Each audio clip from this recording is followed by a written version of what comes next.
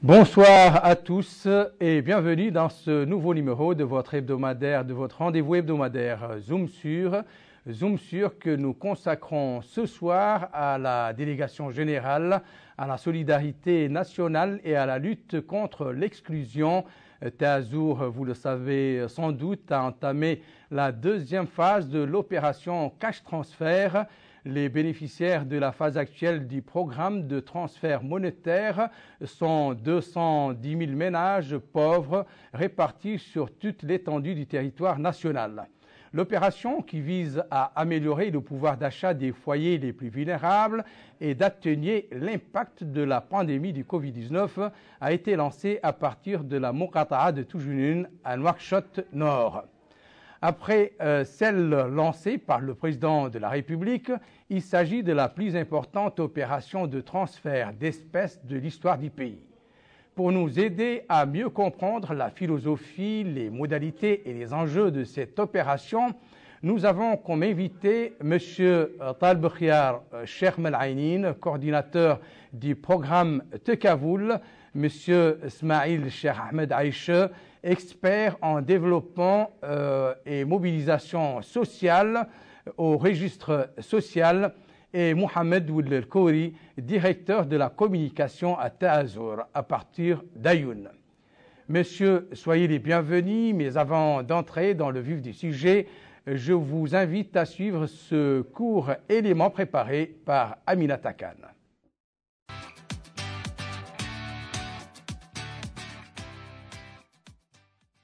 Le délégué général à la solidarité nationale et à la lutte contre l'exclusion Ta'azour, Mohamed Mahmoud Oulbouasriya, a donné le 25 janvier dernier, à partir de Toujinin dans la wilaya de Nouakchott Nord, le coup d'envoi de la seconde phase de l'opération cash transfert direct en espèces.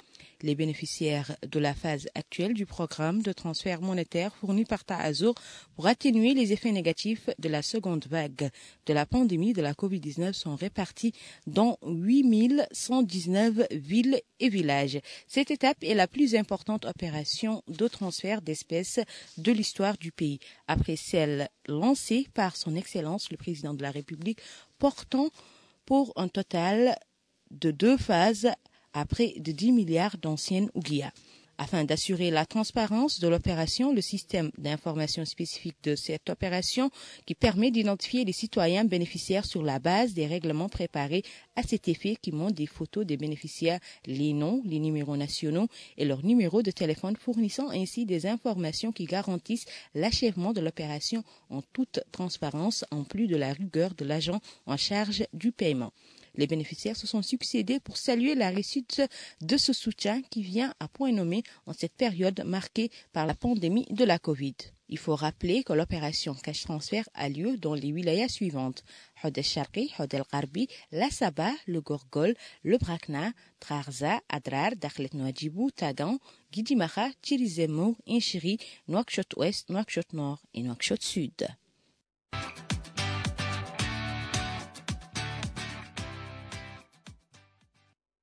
Durant les décennies passées, la réponse aux crises alimentaires et aux situations d'urgence prenait la forme de distribution de produits alimentaires de base et de produits euh, non alimentaires aux populations touchées. Mais depuis quelques années, une nouvelle approche a gagné du terrain, l'aide monétaire ou cash transfert. En quoi consiste le cash transfert? C'est la question que je m'en vais poser à mes invités. Bonsoir. Bonsoir. Et bonsoir, chers téléspectateurs. en fait, euh, le cash transfert euh, est devenu l'une des méthodes et des approches qui est reconnue maintenant pour son efficacité et, son rôle dans le cadre de la lutte contre la pauvreté et dans la réponse au choc. L'objectif du cash transfert, c'est d'améliorer l'investissement en capital humain des ménages en extrême pauvreté et il vise à combiner des transferts monétaires réguliers avec de la promotion sociale qui vise à permettre aux populations qui sont ciblées d'adopter des comportements positifs à l'égard de la santé, de l'hygiène et de l'éducation de leurs enfants. En fait, donc, il s'agit d'une combinaison de deux activités. Un transfert monétaire régulier et des activités de sensibilisation qui visent à permettre aux, ménages sensibilisés d'adopter des comportements positifs. En d'autres termes, euh, il s'agit de renforcer le pouvoir d'achat des ménages en extrême pauvreté à travers ce cash régulier. Il s'agit aussi de les permettre d'adopter des comportements et des bonnes pratiques d'hygiène, de santé, qui peuvent leur permettre d'investir de façon convenable dans, les futures générations, c'est-à-dire dans leurs enfants, afin de ne pas de, briser, si on peut dire, le cycle intergénérationnel de la pauvreté. Le problème généralement des populations pauvres, c'est un manque d'éducation, un manque de santé, etc. Donc, si on vise à investir dans la santé, dans l'hygiène, dans l'éducation des futures générations, des jeunes enfants, on va permettre de briser un peu ce cycle intergénérationnel de la pauvreté. Donc, il s'agit donc, comme j'ai dit, d'une approche qui a été maintenant expérimentée un peu partout dans le monde et qui a donné de bons résultats en termes d'amélioration des conditions de vie des populations pauvres. Ismaël, vous partagez le... Oui, je partage exactement le même point de vue euh, de monsieur le coordinateur. Euh, cependant, j'ajouterais que les cages de transfert, c'est une approche innovatrice. Elle est en fait expérimentée dans d'autres pays euh, de la sous-région. L'expérience de la Mauritanie, c'est une expérience très riche et elle est aussi même à exporter.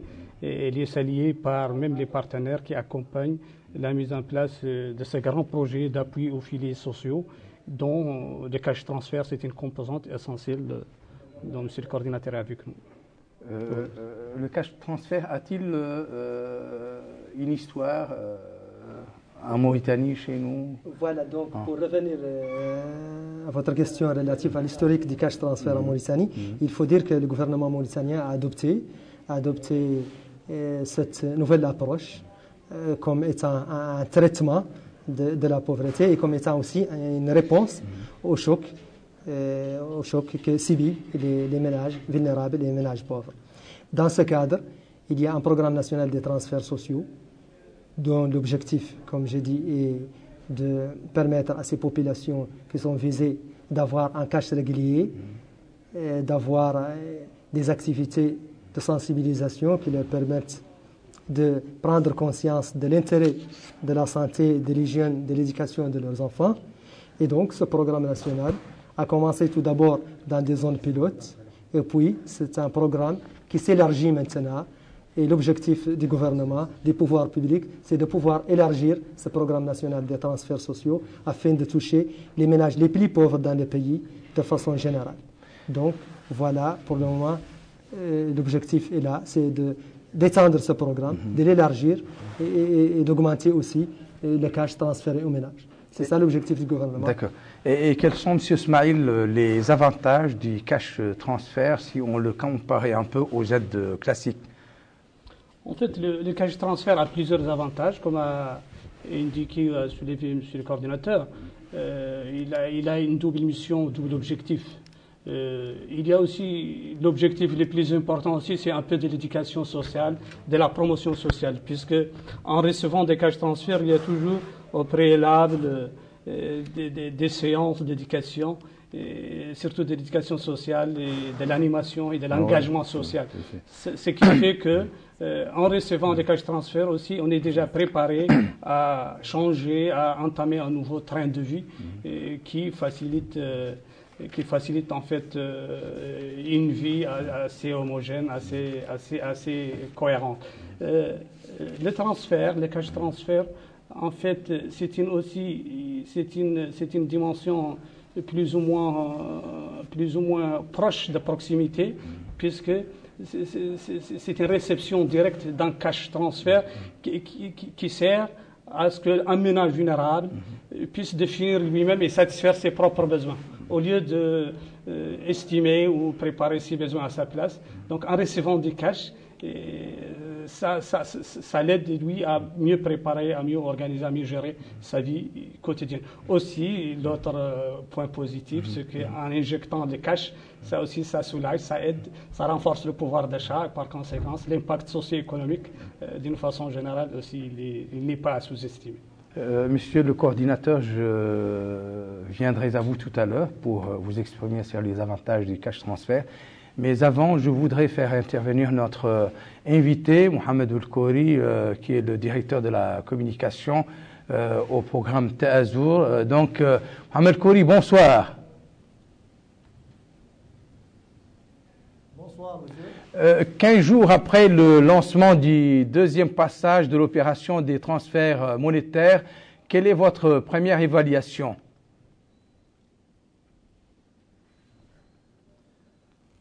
Euh, notre première évaluation, c'est que c'est une, euh,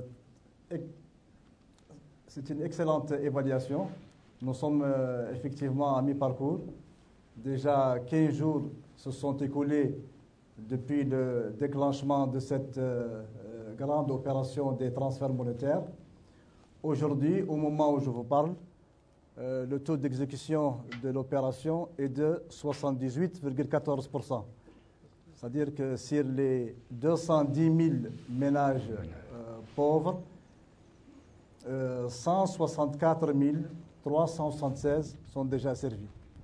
Donc, euh, c'est euh, un excellent taux sur 15 jours et l'opération se, se- déroule dans d'excellentes conditions. Aujourd'hui, euh, Son Excellence, euh, Monsieur le délégué général à la solidarité nationale et à la lutte contre l'exclusion, Tahazour a visité euh, en marge de sa visite euh, dans, dans le hub euh, a visité donc des centres de distribution des transferts monétaires à, à Boustaïla et à Gerj dans les environs de, de- d'Ayoun et il a pu euh, constater euh, l'excellente évolution euh, de cette, de cette opération. Donc, comme vous l'avez dit dans votre rapport introductif, c'est la plus grande opération de transfert monétaire que connaît le pays et elle vient après celle lancée en juin 2020 euh, par son Excellence Monsieur le Président de la République et elle entre dans le cadre du, du plan de riposte national contre la COVID-19. Donc le taux d'exécution est, est très bon. Déjà dans euh, six wilayas, euh, l'opération a été clôturée. Les wilayas du Brakna, Quels sont, quels sont Du justement, Gaza. euh, quels sont justement les Dra. du pays qui bénéficient déjà de cette opération et sur quels critères ont-elles été choisies et du Tagan. Euh, J'ai dit euh, quels sont déjà les muqata'a qui bénéficient de cette opération et sur quels critères ont-elles été choisies? En fait, euh, cette opération de, cette opération de, cash transfert qui se déroule actuellement, c'est une opération conjoncturelle. Elle concerne 210 000 ménages dans toutes les localités et villes du pays, les 8119 localités du pays, donc dans toutes les wilayas, les 15 wilayas, les 57 muqata'a du pays.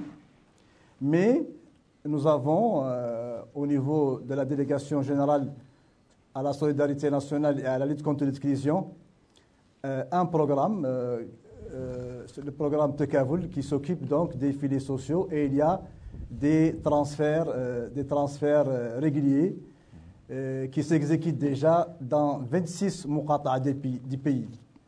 Ces 26 muqata'a du pays sont les muqata'a euh, euh, de Barkewel et de Kankosa à Nassaba, les muqata'a de Selibabi, Oulianje et Rabou dans la wilaya euh, de Guidimara, les muqata'a de Bogué, Aleg, Marta al-Ahjar et Mbagne euh, dans la wilaya du Brakna. les euh, toutes les muqata'a de la wilaya du, du, du Ayoun, Tayantan, euh, Tam Shakat, euh, Kobeni, et euh, tout récemment, donc, toutes les, sept muqata'a de la wilaya du, du, du, qui sont Nema, euh, Timbedra, euh, Digeni, Amourj, euh, euh, euh, Bekt et Walata. Et donc, euh, euh, pour le moment, plus de 70 000 euh, ménages bénéficient des transferts réguliers qu'exécute euh, le programme Tekavul au niveau de la euh, délégation générale à la solidarité nationale et à la lutte contre l'exclusion TASO. Donc présentement, c'est plus de 70 000 ménages euh, reçoivent actuellement euh, deux transferts, c'est-à-dire le transfert régulier et le transfert euh, conjoncturel. C'est-à-dire si on fait une petite addition, 22 500 plus euh, 15 000 euh, ouguiya, 37 500 ouguiya pour chaque ménage de ces euh, plus de 70 000 ménages donc qui reçoivent euh, de manière euh, permanente les transferts réguliers au niveau du, programme Tekavul. Merci Mohamed. Je rappelle que vous êtes le directeur de la communication à la délégation Théazur. Je reviendrai à vous au cours de ce débat. Je reviens donc ici à mes invités, aux coordinateurs. Euh, tout à l'heure, j'ai demandé un peu votre avis sur les avantages euh, de, cette opération euh, en comparaison aux, aides classiques. Très bien, merci. En fait, pour comparer les, interventions, c'est-à-dire le cash transfert avec les, aides classiques, on, peut dire que c'est complémentaire. Le cash transfert, c'est un cash qui permet aux ménages pauvres de subvenir à certains besoins fondamentaux et essentiels. Comme a dit M. l'expert, en les dotant d'un cash régulier, et ils sont libres d'utiliser ce cash dans leurs besoins fondamentaux. On n'intervient pas dans l'utilisation de ce cash. Donc, il y a une certaine liberté au ménage afin de pouvoir définir lui-même ses, ses priorités. priorités et de dépenser aussi le montant qu'il a reçu de la façon qu'il voit la plus appropriée et la plus, euh, la plus adaptée à, ses besoins fondamentaux. Ça, c'est s'agissant de, cash régulier qui est donné aux ménages pauvres. Maintenant, quant au cash qui est donné en réponse à un choc donné, comme le cas actuel de cette grande opération d'envergure nationale qui est est pour répondre au choc provoqué, par la pandémie, euh, la pandémie, la pandémie Covid-19, euh, ce cash permet aux ménages, notamment les plus pauvres et ceux qui sont vulnérables au choc, de subvenir à leurs besoins étant donné qu'ils ont été privés de certaines activités qui, étaient, qui constituaient pour eux un revenu. Et donc, c'est l'occasion pour eux maintenant de pouvoir subvenir à, ces besoins grâce à ce, à, ce, à, ce, cash qui leur a été donné en cette co- conjoncture. Donc, un, donc, il y a un cash qui est donné de façon conjoncturelle pour une raison donnée. C'est une réponse à un choc. Et il y a un cash régulier à partir duquel le ménage peut programmer ses dépenses et savoir quels sont ses besoins prioritaires et ses, besoins prioritaires afin de pouvoir se programmer en l'occurrence et d'utiliser les montants qu'il reçoit. Donc c'est un peu, euh, quant aux, aux aides classiques, c'est complémentaire. C'est-à-dire que ça n'exclut pas qu'il faut avoir des activités qui permettent au ménage euh, de générer des revenus, des activités génératrices de revenus. Ça n'exclut n'exclut pas qu'il faut essayer d'approcher les services des ménages les plus pauvres en termes de santé, en termes d'éducation, mais tout cela c'est complémentaire. N'empêche de dire que le cash transfert est un appui direct qui va direct au ménage et qui, dont l'impact aussi est, est rapide. Donc c'est un peu, un, un peu cela. Donc il y a une complémentarité entre les différentes, euh, les différentes interventions. Maintenant, je reviens un peu sur, Oui, euh, le lancement, l'évaluation, le lan- euh, le lancement. L'évaluation que vous faites après deux semaines. Voilà, euh, donc ouais. je, je- je voudrais tout d'abord un peu essayer de situer le contexte dans lequel est lancée cette grande opération d'envergure. Il faut dire que la Mauritanie a été touchée, comme la plupart des pays du monde, comme tous les pays du monde d'ailleurs, par cette pandémie. Et cette pandémie qui a bouleversé la situation sanitaire et, l'activité économique un peu partout. Et donc, euh, ce qui a fait que euh, le gouvernement a pris des mesures visant à minimiser ou à diminuer la, la propagation de cette pandémie. Ainsi donc, il a été décrété un couvre-feu des rassemblements qui ont été interdits, des marchés euh, fermés, des activités génératrices de revenus comme le secteur informel quasiment arrêtés. Et donc, ce sont des mesures qui ont été prises, mais l'objectif est d'arrêter un peu la propagation de, la, pandémie. Et heureusement, d'ailleurs, ce sont des mesures qui ont donné de, bons résultats pour, pour, le pays. Mais il n'empêche de dire que ce sont des mesures, bien que très importantes, ils, sont, ils ont aussi un impact un peu négatif par rapport aux ménages et aux ménages vulnérables. C'est-à-dire que beaucoup d'activités ont été arrêtées et il y a des ménages qui, vivaient dans le secteur informel qui se sont vus avec pratiquement pas de revenus et donc il y a un, impact un peu négatif sur ces ménages et notamment les ménages les plus pauvres. C'est pour cela que le président de la République a ordonné au pouvoir public de lancer des opérations d'extrême urgence afin, de diminuer l'impact négatif de cette pandémie sur les populations. Et c'est dans ce cadre que euh, avait lancé une première opération qui a été tout d'abord, euh, qui a concerné tout d'abord, une distribution de kits alimentaires, suivie d'une distribution de cash d'envergure nationale. Et c'est dans ce contexte que se situe actuellement cette, cette, deuxième opération de distribution de cash qui vise euh, plus de 200 000 ménages.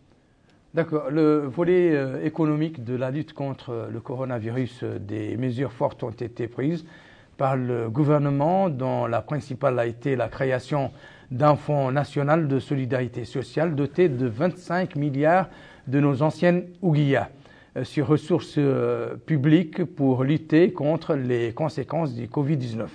De quelle manière, M. Smaïl, la mise en œuvre du cash transfert s'intègre-t-elle dans cette stratégie? Merci Addahi. Euh, bon, permettez-moi de revenir un peu en arrière euh, pour préciser un point qui, me semble important. Bon, il euh, faut préciser que les cash transferts, c'est deux, cash transferts, si vous voulez. Un cash transfert continu et un cash transfert conjoncturel. Les cash transferts conjoncturels, c'est cette grande distribution de cash que la délégation générale met en œuvre et d'une façon continue. Les cash euh, transferts euh, conjoncturels dont nous vivons la deuxième phase, euh, c'est un cash ordonné, comme a dit M. le coordinateur, par le président de la République et dans des mesures et dans, un contexte assez particulier. Puisqu'au moment où tout le monde était touché par la Covid-19, il était question que la Mauritanie, à l'instar des autres pays, prenne des mesures barrières. Ces mesures barrières ont affecté sensiblement certains ménages vulnérables. Donc, ce qui et en fait euh, incité ou ce qui a mobilisé les pouvoirs publics à penser rapidement à comment soulager, soutenir. Donc c'est dans ce contexte que la première euh, que la première phase du cash transfert s'est située. Elle s'est située en fait euh, avec efficacité, rapidité, rapidité, et traçabilité surtout, puisque c'est la première grande opération d'envergure, traçable, fiable, qui était même saluée par tout le monde. Et même, je peux dire que la deuxième aussi, la deuxième vague aussi, et avec l'accompagnement de nos partenaires au développement, puisqu'ils ont vu comment euh, la première était gérée, comment les pouvoirs publics ont pu faire face aux mesures et comment les gens ont bénéficié d'une façon rapide, efficace et traçable euh, de la première euh, phase. Donc, dans ce contexte, ça va m'amener à parler un peu de la modalité de mise en œuvre, puisque il mm. euh, faut rappeler qu'aujourd'hui, la Mauritanie, elle est fière d'avoir une base de données fiable, l'une des plus fiables de la sous-région, ce qu'on appelle le registre social des ménages pauvres. Ce registre euh, des ménages pauvres, euh, c'est une base de données que les pouvoirs publics, que les programmes et les actions, les actions sociales ciblées utilisent, utilisent euh, couramment, puisque c'est un, une base de données qui permet euh, d'arriver, d'atteindre euh, aux populations, aux cibles, et aussi elle garantit la traçabilité et la fiabilité, surtout des aides. puisque maintenant nous sommes dans une phase, euh, et ça là je, je, parle puisque son Excellence, Monsieur le délégué général, très tôt, il a découvert le registre social, il l'a même élargi avec des idées, il l'a même soutenu, et comme ça, euh, le registre social maintenant, c'est notre en fait socle de, de, suivi et de distribution de ces aides. Puisque sans le registre social, je dirais, j'ose dire que... C'est votre référence en quelque sorte. Oui, sans le registre social, euh, cette distribution et cette, euh, ce suivi et cet outil de gestion vraiment performant. euh, nous sert beaucoup aujourd'hui et nous encourage et aussi incite nos partenaires au développement à accompagner les actions sociales euh, ciblées. Donc, nous aussi nous félicitons, puisque c'est à cause de ça qu'on connaît aujourd'hui le taux d'exécution, qu'on connaît les wilayas cibles, qu'on connaît, qu'on peut suivre dans un temps réel euh, les, les, ménages bénéficiaires. Et tout cela aussi, j'ajoute que c'est fait avec des, des compétences et des capacités nationales. Et ça, c'est vraiment important que, que nous, aujourd'hui, on a cette autonomie de mettre en place des plateformes et aussi d'utiliser la technologie euh, au profit du développement, si, vous voulez. Tant mieux. Identifier plus de 200 000 familles est un travail euh, gigantesque. Euh, quelles sont les procédures et mécanismes utilisés pour sélectionner les bénéficiaires? Ce n'est pas une tâche simple. Très bien, tout à fait, absolument. et comme a dit M. l'expert Smaïl, mm-hmm. En fait, le, registre social est un peu la référence, non seulement pour pour Azur, mais aussi pour les toutes les administrations publiques, même pour les partenaires au développement.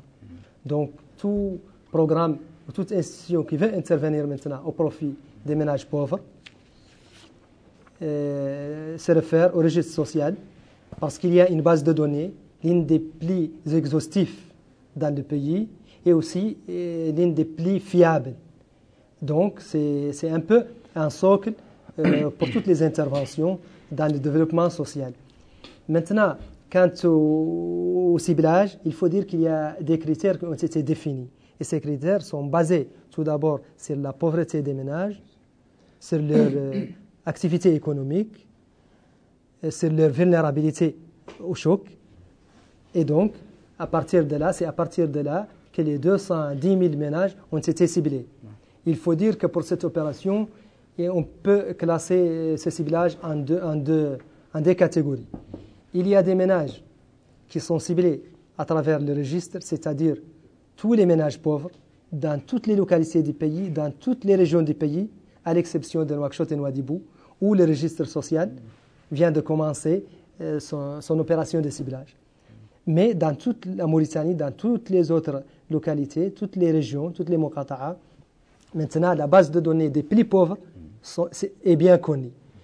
Une autre catégorie de, population qui bénéficie de cette opération, c'est la population au niveau de Nouakchott et de Nouadhibou, où euh, la délégation générale Azur a eu recours à certaines données qui proviennent de certains départements spécialisés, notamment dans l'action sociale, dans le développement social, euh, tels que le ministère des Affaires sociales, euh, et d'autres institutions afin d'avoir euh, arrêté une liste pour, pour Nouakchott et pour Nouadhibou. Cette liste, bien sûr, a été complétée par d'autres informations qui, proviennent d'autres institutions. Maintenant, une fois que cette opération est faite, c'est-à-dire ce ciblage est fait au niveau de Nouakchott et Nouadhibou, nous aurons pratiquement tout le pays qui sera couvert par le registre social. Et donc, nous aurons une base fiable, une base exhaustive, euh, à partir de laquelle on peut toujours euh, puiser et, tirer les listes dont on a besoin euh, pour, pour les ménages en fonction des critères qui sont arrêtés par les, différents utilisateurs. C'est-à-dire que chaque utilisateur, par exemple, détermine un ensemble de critères et à partir de ces critères, on peut lui, offrir toujours la liste dont il a, besoin. Donc ça, c'est en ce qui concerne le, ciblage des, ménages euh, pauvres, notamment pour cette opération. Euh, est-ce que, les ONG, les organisations euh, locales de la société civile et les populations sont associées à la mise en œuvre de l'opération et comment s'assure-t-on que le choix effectué reflète la réalité Merci beaucoup. Ça va m'amener à euh, intervenir un peu sur les méthodes de ciblage, puisque le ciblage, c'est une méthode assez complexe. C'est une méthode scientifique. Elle combine euh, plusieurs méthodes scientifiques et les bonnes pratiques aussi vécues dans, dans le monde. Euh, le registre social, c'est une institution spécialisée en matière de ciblage. Le ciblage, il est un peu différent des, des, recensements et des dénombrements naturels euh, que, que, les gens font. Le ciblage, euh, il est euh, classé en deux catégories, le ciblage en milieu rural et le ciblage en milieu urbain. Donc, c'est plutôt, bien sûr, la société civile, les élus les locaux sont impliqués dans cette approche, puisque c'est une approche, en fait, on dirait, c'est une approche participative, c'est une mhm. approche communautaire. On mhm. appelle ça le ciblage communautaire. C'est-à-dire que tout le monde est impliqué, mais de telle façon que le registre social, avec ses, ces fonctionnaires, ces animateurs sociaux bien encadrés et bien formés, garantissent euh, l'encadrement et la transparence dans le choix et le ciblage des ménages pauvres dans le rural. Ce qui fait que le ciblage des ménages euh, pauvres dans les milieux ruraux est toujours faite en assemblée générale, c'est-à-dire en public et devant tout le monde. C'est-à-dire que c'est comme ça que le ciblage se passe d'une façon vraiment pour garantir la transparence, transparente et ah. devant tout le monde. Et c'est pour cela les erreurs de ciblage aussi ne sont pas laissées au hasard, puisqu'on a toujours cette approche de corriger les erreurs de ciblage, puisqu'il y a une autre mission de collecte des données des ménages ciblés qui interviennent et qui corrigent en paix éventuellement si des petites erreurs ou d'inclusion ou d'exclusion des En milieu urbain, la chose est totalement différente. Ce qui fait que nous, maintenant, nous sommes à Nouadhibou, les équipes du registre social sont déployées à Nouadhibou et ils expérimentent une nouvelle méthode vraiment grandiose et de grande envergure, puisque même dans la sous-région, euh, ils sont encore réticents sur le ciblage en milieu urbain, mais le registre mauritanien, il est je dirais, il est un peu en avance et il a entamé déjà le pilote de Nouadhibou, c'est-à-dire à travers une application, une plateforme qui est vraiment fonctionnelle et qui va euh, consiste à dénombrer tous les ménages et les catégoriser selon un programme euh, prédéfini qui va catégoriser tous les ménages selon leur degré de pauvreté, bien sûr, avec des questionnaires, avec une triangulation d'appréciation, euh, un scoring, une auto-appréciation du ménage et euh, le ménage lui-même, l'animateur lui-même, son, son, appréciation est très importante. Ça, en fait, euh, le, temps ne permet pas de revenir sur ces aspects techniques, mais vraiment, c'est une grande expérience et qui va donner de très très bons résultats euh, en milieu urbain et qu'on peut même généraliser dans tous les milieux urbains en Mauritanie. Et c'est pour cela que je reviens pour dire que le ciblage est très fiable, il est pertinent. C'est pour cela qu'on n'entend pas beaucoup de plaintes, pas beaucoup de bruit, puisque la chose s'est faite d'une façon transparente, claire, il n'y a pas de, euh, choses cachées, mm. il y a une procédure généralisée appliquée pour tout le monde. Et aujourd'hui, nous sommes très fiers d'avoir une base de données de telle spécificité, aussi une base de données où on peut dire euh, tous les pauvres sont déjà inscrits à l'intérieur du pays, puisque c'est déjà bouclé. Il nous reste Nouakchott et Nouadhibou. On, va les boucler dans les mois à venir. Et là, réellement, nous sommes très contents d'avoir une base de données et un socle, comme a dit M. le coordinateur, euh, pour les ménages, les activités sociales ciblées. Euh, y a-t-il un contrôle pour euh, s'assurer que l'argent distribué est utilisé à des fins vraiment utiles aux familles des bénéficiaires? En, fait, pour s'assurer que, que le, les cash et, les fonds distribués parviennent, parviennent aux ménages, parviennent aux ménages qui sont, qui sont bénéficiaires, tout dépend de la plateforme utilisée. Et dans cette opération, la délégation générale Azur a utilisé la même plateforme de paiement qu'elle avait utilisée pour la première opération. Et c'est une plateforme qui a montré beaucoup d'efficacité, qui a donné satisfaction et c'est pour cela qu'elle a été maintenue pour le deuxième passage. Donc, c'est un paiement qui est effectué de façon très facile, de façon très transparente, une plateforme qui pourrait être utilisée par l'opérateur, n'importe quel opérateur qui, qui, a un contrat avec, avec Azur. Donc, c'est une opération qui permet, c'est une plateforme qui permet un réel suivi de, des transactions, des différentes transactions, elle permet aussi plusieurs modes d'authentification, c'est-à-dire que euh, la plateforme, à travers la caméra de l'outil utilisé, elle reconnaît le, le, le, NNI, le numéro national de chaque bénéficiaire, et donc c'est une façon d'authentifier. il y a d'autres façons d'authentifier aussi, c'est qu'elle reconnaît aussi le numéro euh, du téléphone des, des, récipiendaires, c'est-à-dire de la personne bénéficiaire, en appelant, en appelant l'outil. C'est-à-dire que pour s'assurer que la personne, on peut lui dire d'appeler cet outil et donc son numéro, son numéro va, va, va apparaître sur, l'appareil. Il y a une autre façon d'authentifier, c'est l'utilisation de ce qu'on appelle les sages. Vous savez qu'au niveau de chaque communauté, mm-hmm. il y a des sages, et, ces sages-là, s'ils attestent que telle personne est bien la personne indiquée, la personne bénéficiaire, la personne pauvre qui est ciblée, c'est une façon aussi d'authentifier euh, cela. Donc il y a plusieurs outils qui permettent de s'assurer que, le cash transfert arrive directement aux ayants droit. Oui, en fait, euh, c'est seulement pour compléter, puisque euh, cette plateforme qui est la première utilisée pour la première euh, vague de cash transfert, mhm. en fait, c'est une plateforme vraiment performante. Mhm.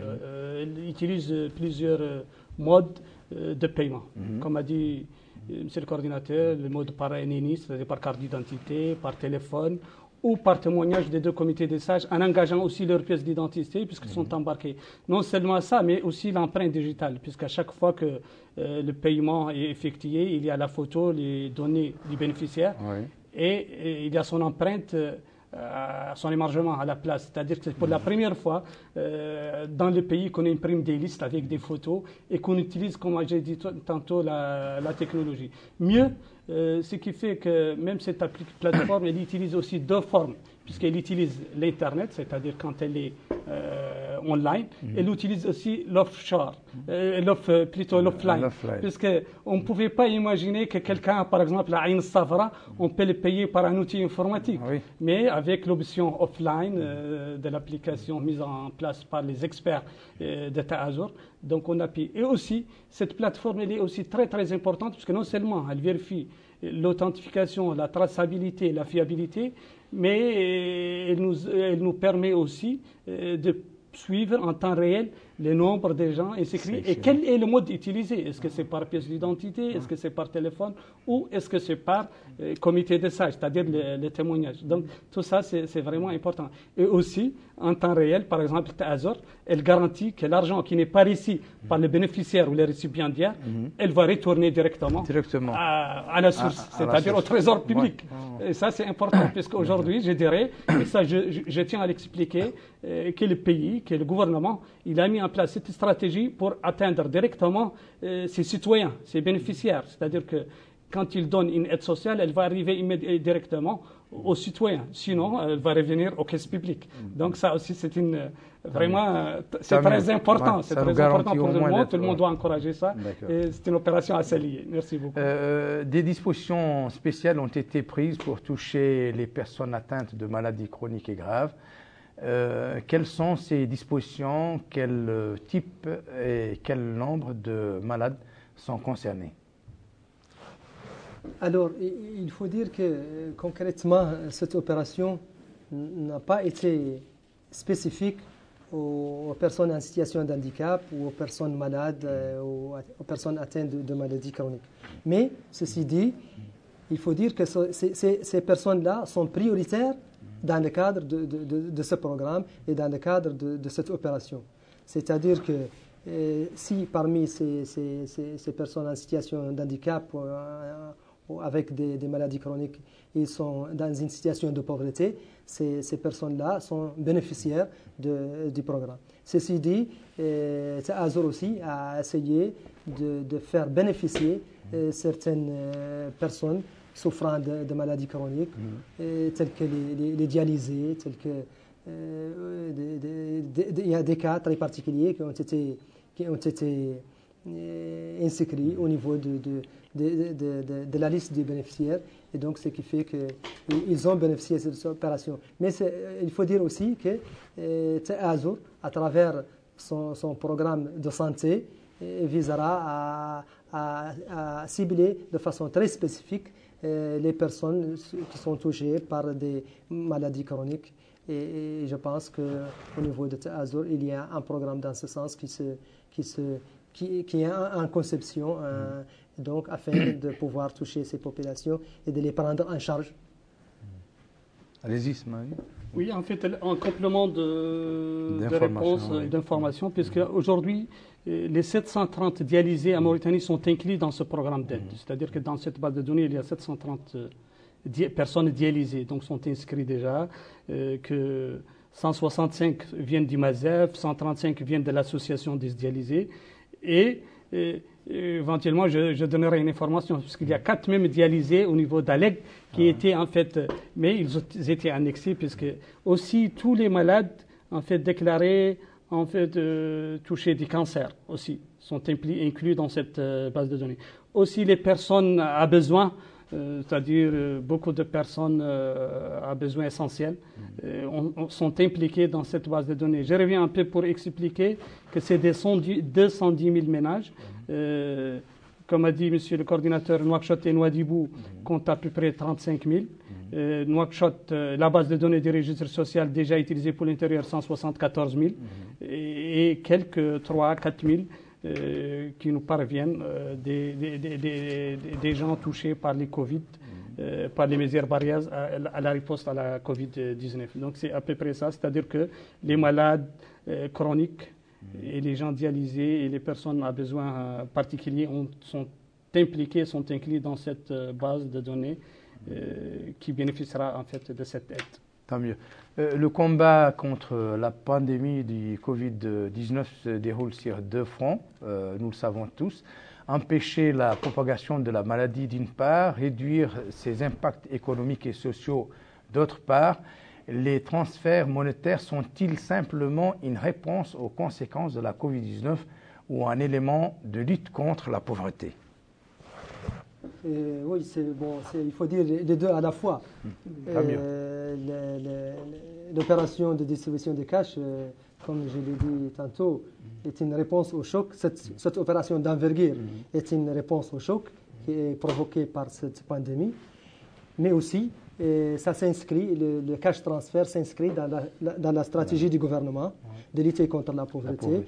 Et surtout, ça s'inscrit dans les axes stratégiques de la délégation générale Azur. Vous savez que la délégation générale Azur intervient sur la base d'un certain nombre euh, d'axes, notamment cinq, et ces cinq qui sont traduits dans cinq programmes, à, savoir le programme Sheila, santé, éducation et, services sociaux de base, énergie, et le programme, euh, le programme DARI, logements sociaux, et le programme EMED, sécurité alimentaire, euh, sécurité alimentaire et renforcement de, de, de, de renforcement de la politique de, renforcement de, la politique visant à, mettre à la disposition des, des, ménages les plus pauvres les denrées de première nécessité. Et le programme Tekavul, qui est un programme qui vise à renforcer l'efficacité des systèmes de, de filets sociaux et améliorer le pouvoir d'achat des populations. Et aussi le, programme de Baraka, qui est un programme dont l'objectif est de permettre à, certaines catégories de population d'entreprendre et d'avoir une activité génératrice de revenus, de, de créer des emplois, des auto-emplois, etc. Donc, il faut dire que c'est pour dire que le cash transfert s'inscrit parfaitement dans le cadre de l'un de ces axes qui est celui de, de rendre efficace les systèmes de filets sociaux et d'améliorer le, le, pouvoir d'achat des populations. Mm-hmm. Donc, c'est pour dire que euh, c'est à la fois une réponse à une lutte contre la pauvreté de façon structurelle, mais aussi c'est une réponse à un choc qui a été provoqué par la pandémie. Euh, Mohamed Oulkouri, euh, je reviens à vous. Un bon nombre de nos citoyens pensent que les réalisations de l'agence Tazour se limite jusqu'ici à ces opérations de cash transfert. Est-ce vrai ou qu'en est-il justement?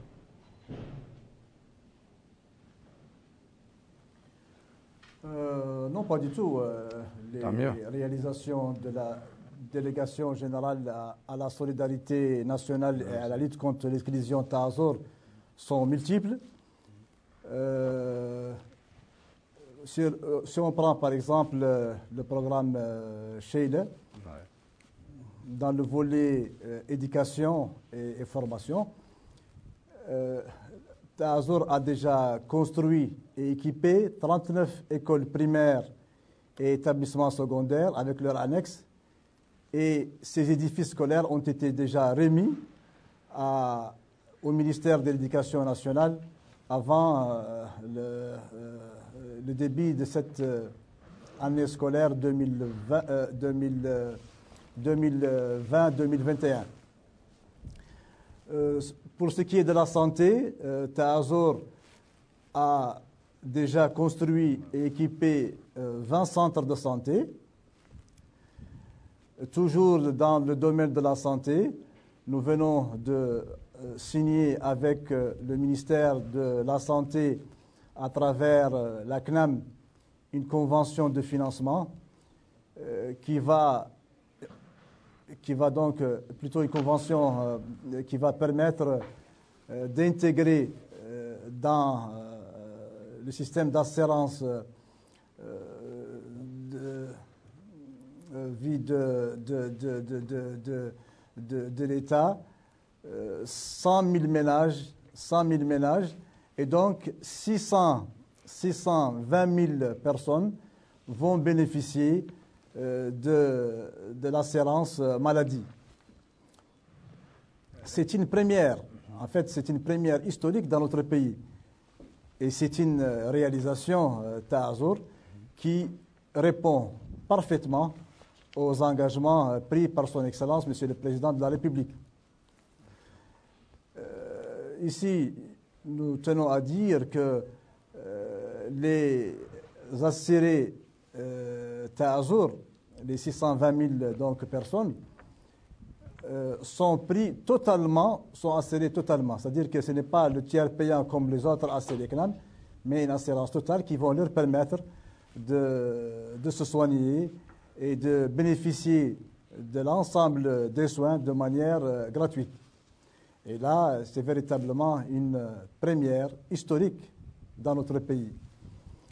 Euh, autre réalisation de la délégation générale Taazur, Taazur a déjà construit cinq grands barrages dans plusieurs wilayas du pays, euh, al-Sharqi, euh, Brakna et Asaba.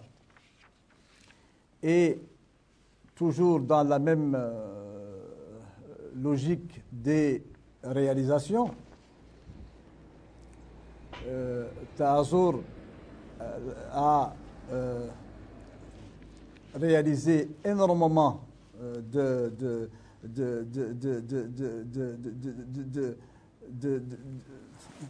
pour ce qui est de, de, l'approvisionnement des 1762 boutiques ML.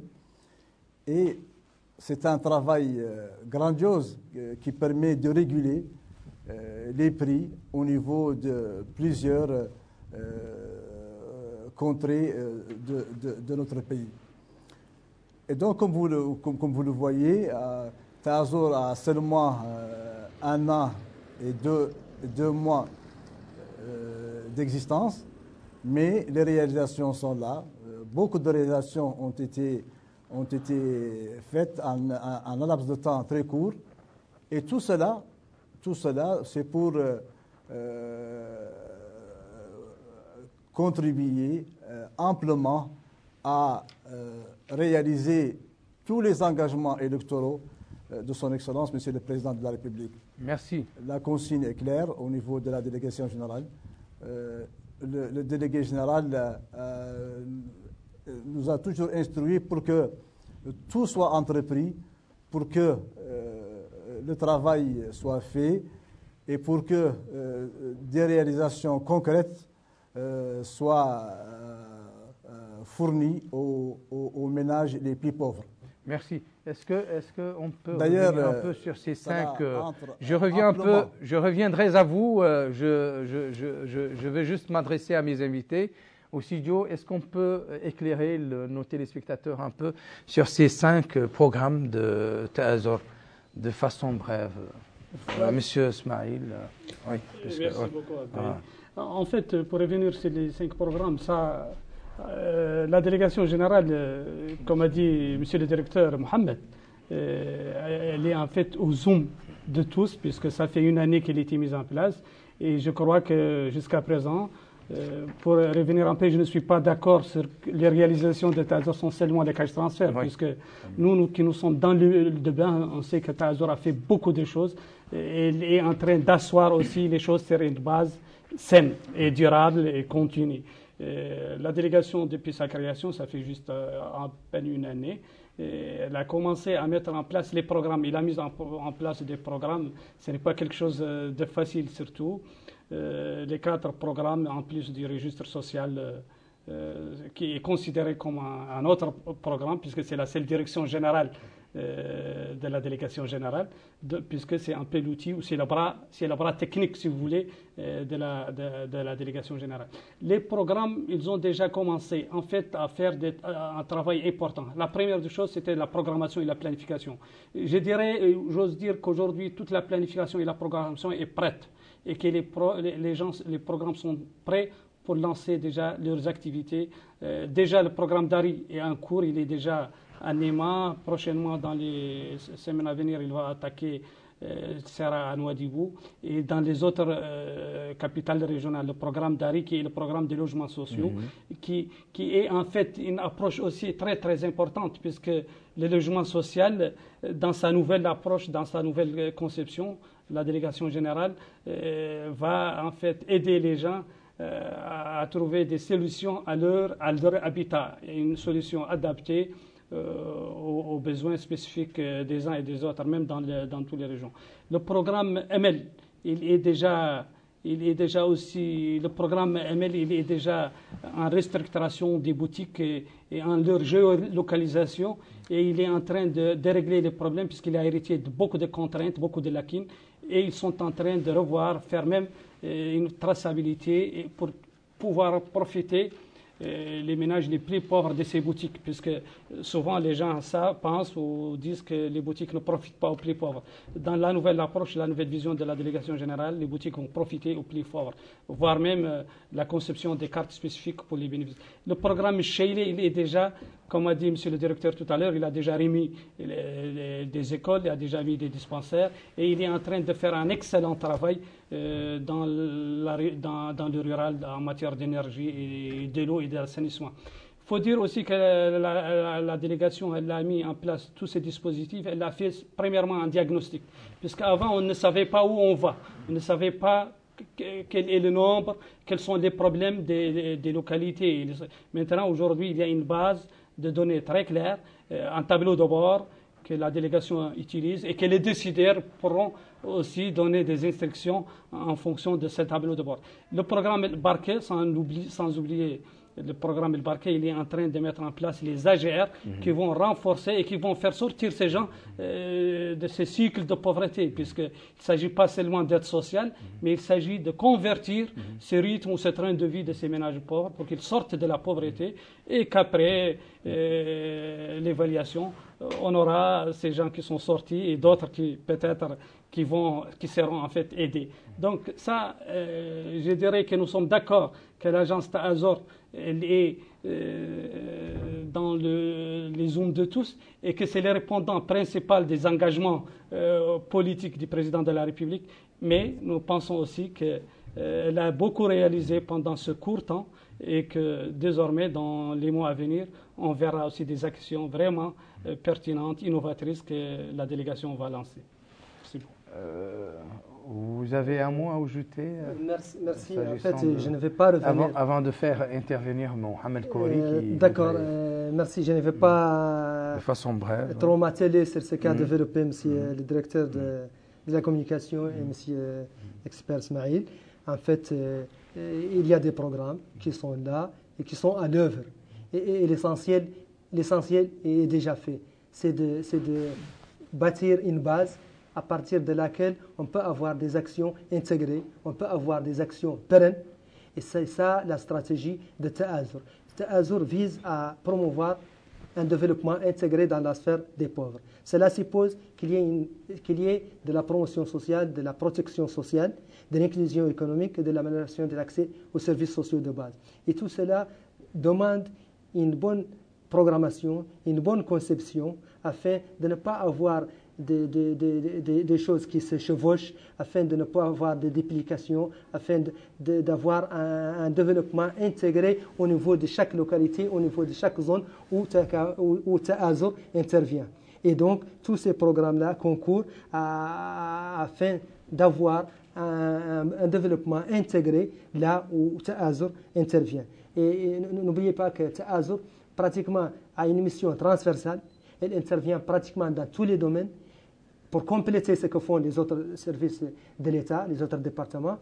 Elle intervient dans tous les domaines et elle intervient particulièrement au niveau de, de tout le territoire national.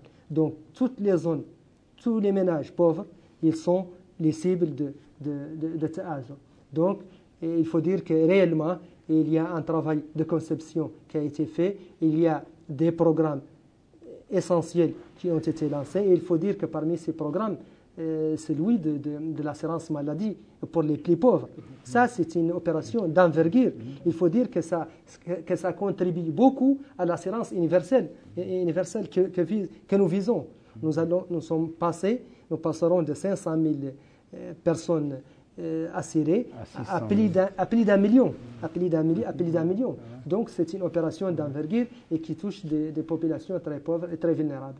Donc cela s'ajoute bien sûr à tout ce qu'a dit Monsieur le directeur de la communication en termes d'infrastructures sociales, en termes d'infrastructures sanitaires, etc. Euh, Mohamed, donc euh, je reviens à vous et euh, je me dis que cette opération est louable. Le projet Théazour en lui-même est un projet ambitieux, mais est-ce qu'il ne vaudrait pas mieux euh, demander une contrepartie aux, citoyens pour qu'il n'ait pas l'idée euh, de, la politique de la main tendue? On lui donne sans pour autant lui demander une contrepartie. Je pense un peu à Travail contre Vivre qui existait.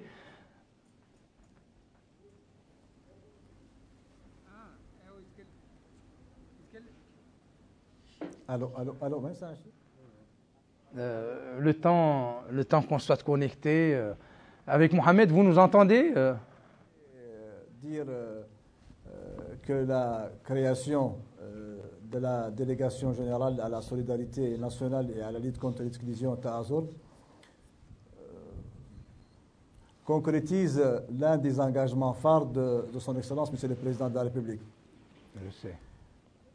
Sa vocation consiste à promouvoir un développement intégré dans la sphère des populations pauvres et vulnérables et à les insérer donc euh, euh, économiquement et socialement. Et donc, euh, tout entreprendre pour améliorer leurs conditions de vie. Tazor, donc, donc le, le, temps de retrouver, c'est les aléas du direct, de retrouver Mohamed.